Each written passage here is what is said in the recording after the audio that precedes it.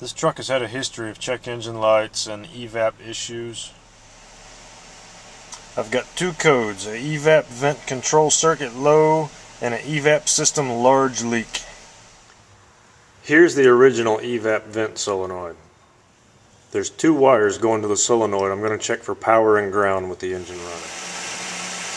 With this scan tool I can test the evap vent solenoid circuit by commanding it on and off.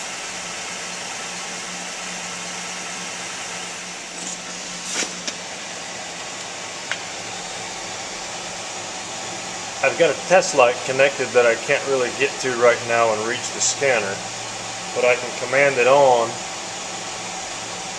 like that, and you can see the light shining there on the differential.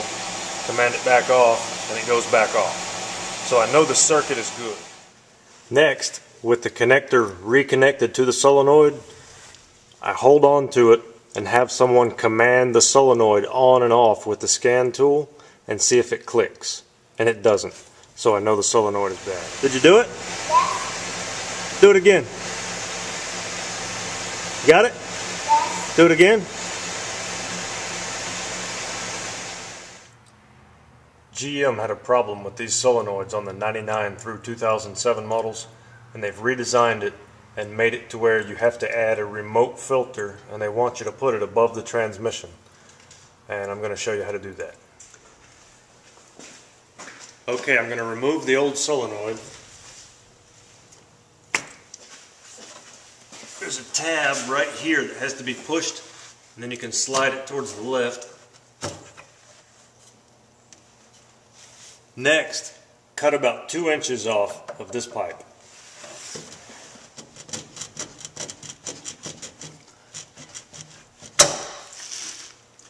Here's the old canister vent valve assembly. This is the actual solenoid.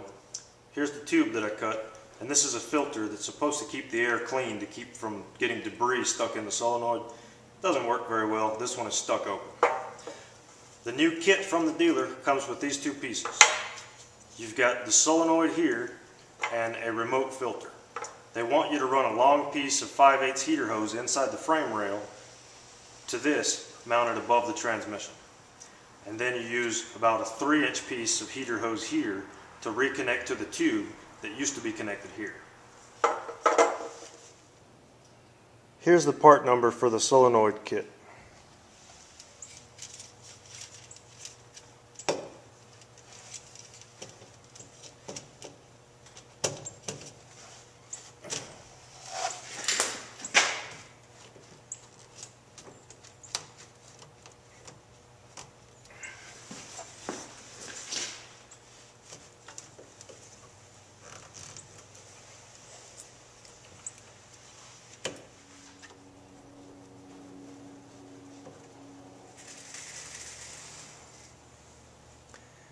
Now I've taped up the end of a big roll of 5 8 heater hose. I'm going to feed it through the frame towards the front of the truck.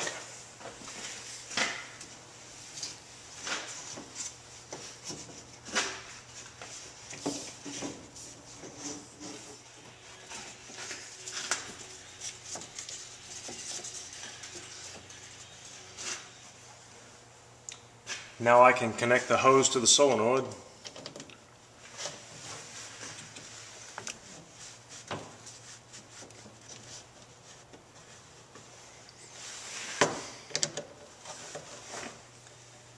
Once you figure out where you want it, cut the hose as needed.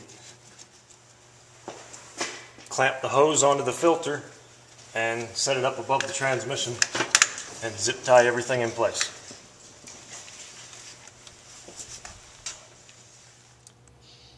Here's the new location for the vent solenoid inlet filter.